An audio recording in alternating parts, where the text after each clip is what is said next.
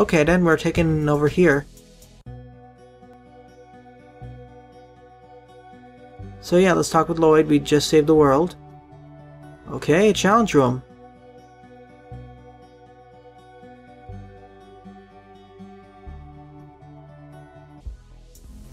Alright, sorry for the break over there. So as Lloyd mentioned just over here, we now have an extra mode of extra rooms to go through. And maybe some other extras as well. Like maybe in arena mode? I'm not sure. This is all new to me right now, and I'm quite excited to see what new challenges lay in store here.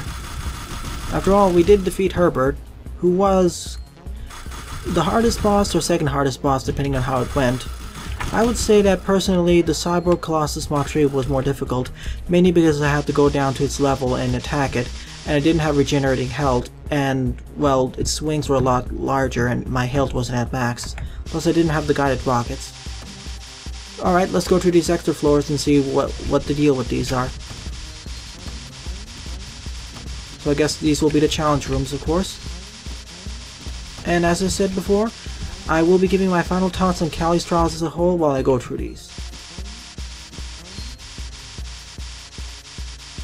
Well, first is a backstory of how I actually got Cally's Trials uh, in the first place. I was browsing through the Reddit Let's Play, the Let's Play subreddit, and one of the developers or distributors for Cally's Trials, or well, Dietrich specifically, they were mentioning that they were distributing it, uh, distributing review copies for Let's Players. So I, uh, I liking a, a lot of um, indie titles, decided to play, decided to request it and do a Let's Try this. I got the key and I did a Let's Try about a few months ago, and I quite enjoyed what I saw, so I decided to do a Let's Play after I completed several of my Mega Man uh, Let's Plays. So here I am, playing the game. So with that out of the way, now how do, what do I think about the game as a whole? starting with the controls, the controls are very solid. They, they aren't really they aren't floaty. Once you once you do a jump, you will jump. And and everything feels responsive. Sure, and weapons don't necessarily not all the weapons have exactly a punch. The projectiles do definitely, but all the weapons kind of feel like they're just there. They don't really have any reaction to when you fire. Well, some of them do, like the spike gun, other things, but many of the weapons only have a minor knockback, and it isn't really that dramatic. It's really when the enemies get hit where you can see the effects, especially with things like the rocket launcher explosions or the freeze gun.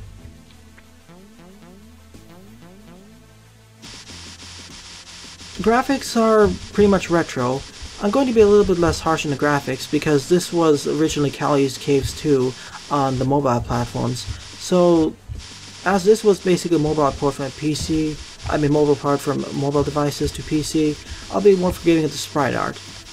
It is relatively decent, but I, wish there was less usage of all these blocky, of these rep repetitive blocks. Sure, I do like that each of these areas has their own unique aesthetics in terms of the, the sprite sheet but, or tile set, but I really wish there was more variety, like slopes, um, smaller areas, or smaller... If the, if the tiles were smaller and more, had more variety, I would be fine with that as well, but right now not as much and perhaps more areas, because we only have about 6 or 7 tile sets to go through.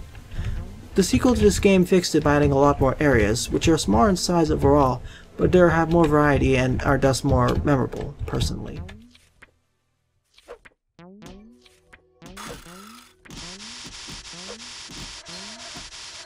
Sound, the sound work is also pretty uh, pretty good as well. Well, fairly decent.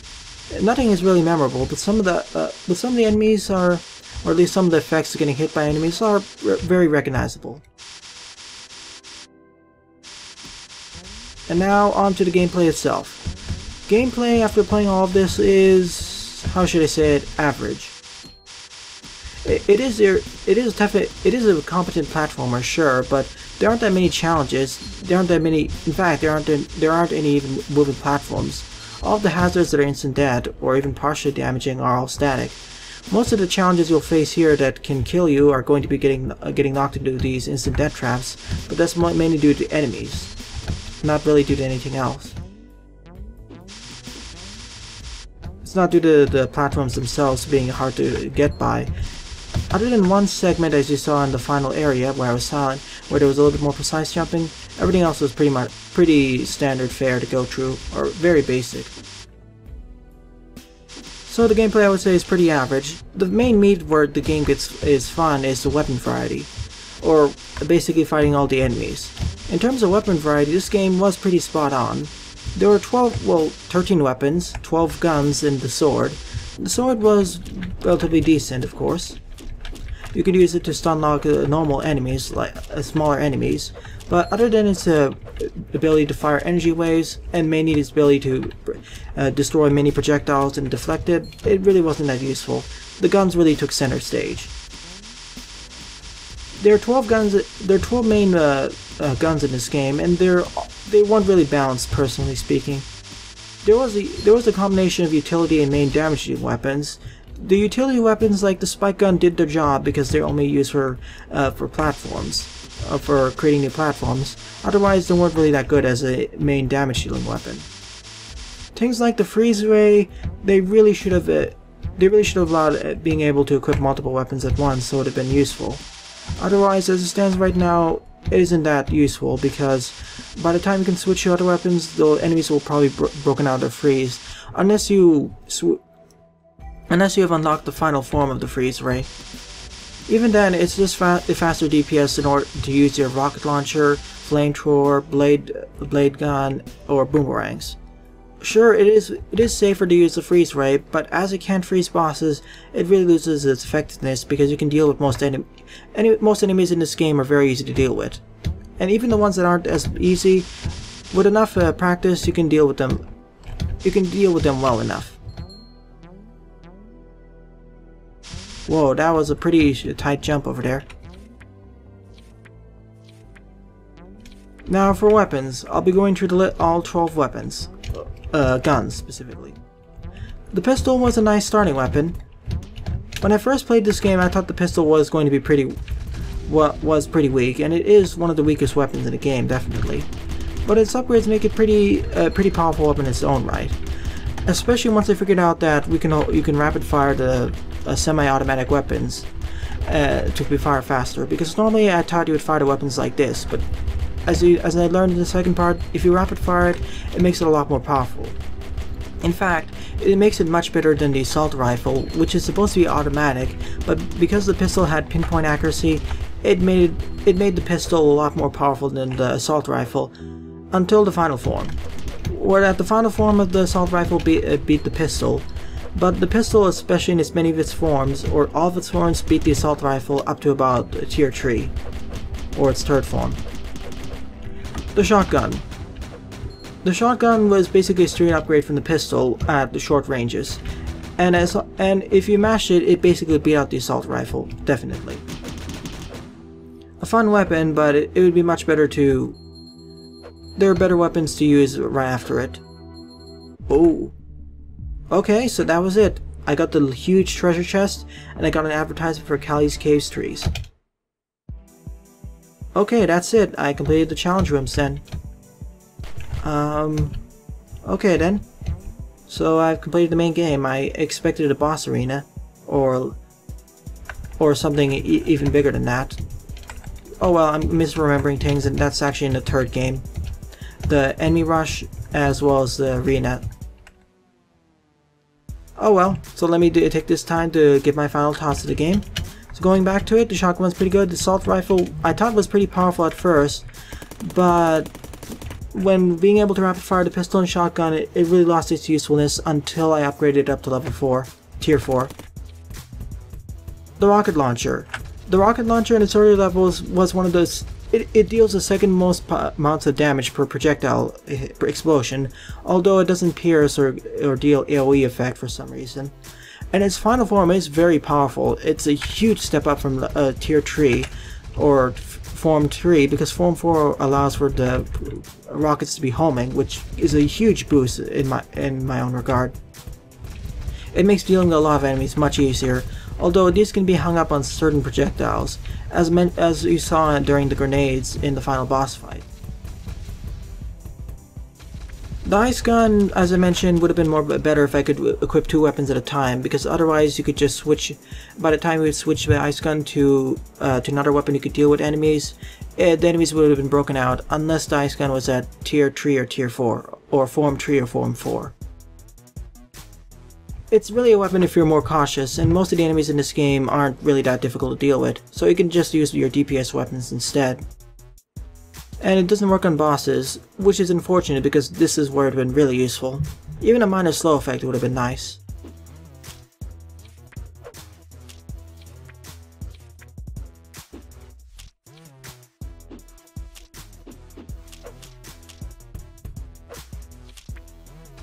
Oh yeah, the laser.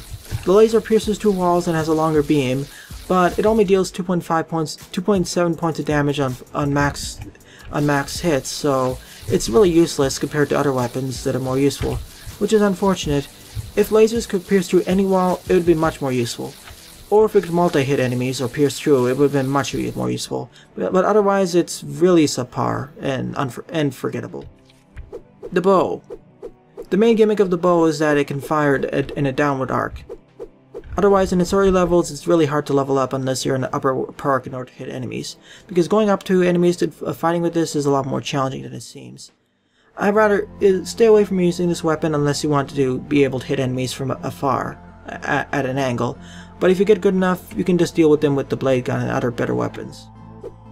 And the bomb gun pretty much over uh, basically is a straight up replacement for this. And here's the most overpowered weapon in the game, or one of the three, the blade gun.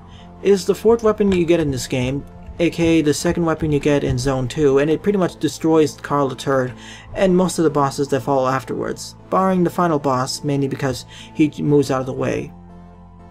It's overpowered because it pierces uh, true enemies, and in addition to that, in addition to that being ridiculously broken, it can also bounce back and hit enemies. So it makes it really fast to level up, because for some reason in this game, in addition to weapons taking different amounts of exp experience to level up, it seems like experience is garnered per hit per enemy instead of per enemy destroyed, so uh, weapons that can't really pierce through enemies are really out of luck and take a lot longer to to level up, especially automatically firing weapons like the assault rifle, which really took a lot of time to level up and were kind of annoying to do so. But with this, you can easily level up to level 10 in under 5 minutes in Zone 2 and completely destroy Carl the Turd and the future bosses. So yeah, it's really broken, and I appreciate that the developers moved it to about, to about level 70 plus in Cally's Caves 3 so it doesn't break things as much. Here's a flamethrower, the next overpowered weapon in the game. It's also piercing, and it can also multi-hit like the blade gun can. In some ways it's more powerful than the blade gun for enemies who keep moving around, especially aerial enemies. So it's another one of those must-have weapons you should level up, and it does level up pretty fast because of being piercing and multi-hit. The Boomerang, the third uh, overpowered weapon in this game. It, it, al it also pierces through enemies and is multi-hit, and, uh, and like the flamethrower, it can actually pierce through walls for some reason. The blade gun can't, so that kind of removes some of its usefulness. Now, if you angle it correctly, the boomerang can actually out DPS the blade gun. Specifically for its better use for stationary enemies and very slow moving enemies, like the turrets, the rocket bandits, and the ballers. But for smaller enemies, the blade gun is better. And if you can mash the your fire button fast enough, the blade gun is definitely better because of how rapid firing it is. The spike gun, a utility weapon that really shouldn't be used for combat because it isn't that good. There are better weapons for that. We'll use this only for accessing higher platforms. The bomb gun. Uh, the bomb gun is the final weapon which I didn't really level up. It's basically a straight up uh, straight upgrade from the uh, bow because it fires in downward arc, and I suppose it will be upgraded to about 3 bombs per hit. And at base it deals 3.5 points of damage, making this the greatest per projectile damage weapon in the game. The rocket launcher did only 2 points of damage per hit and at its base level and this does 3.5 so it is straight up the most powerful. And I will attach a video showing what it is in its max power form.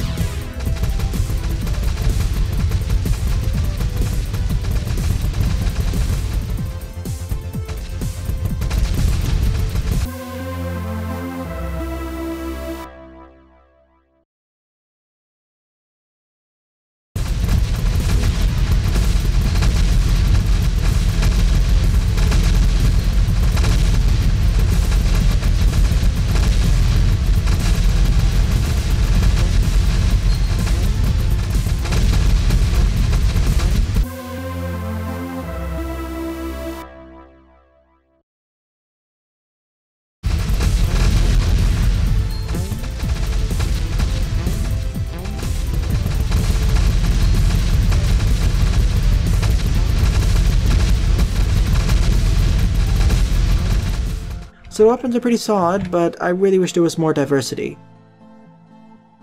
Uh, or uh, weapons being more balanced, aka nerfing the blade gun, the boomerang, and the flamethrower, and making things like the laser gun freeze ray a lot more powerful and more friendly to use, as otherwise the bows and other things are really forgotten. The bow, laser gun, freeze ray, those weapons are kind of forgotten, and overshadowed by the blade gun, uh, boomerang, rocket launcher, flamethrower, and the bomb gun.